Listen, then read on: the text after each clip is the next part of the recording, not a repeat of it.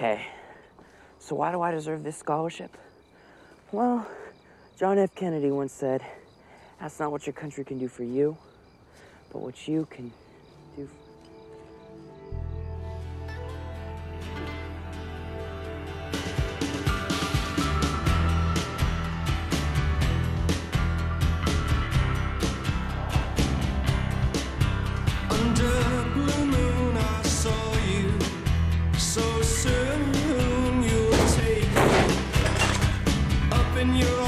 too late to beg you or cancel it though I know it must be the killing time.